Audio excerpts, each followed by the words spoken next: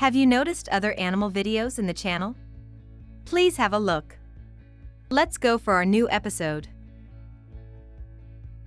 The naked-faced spider hunter is a species of bird in the family Nectariniidae. It is endemic to the Philippines.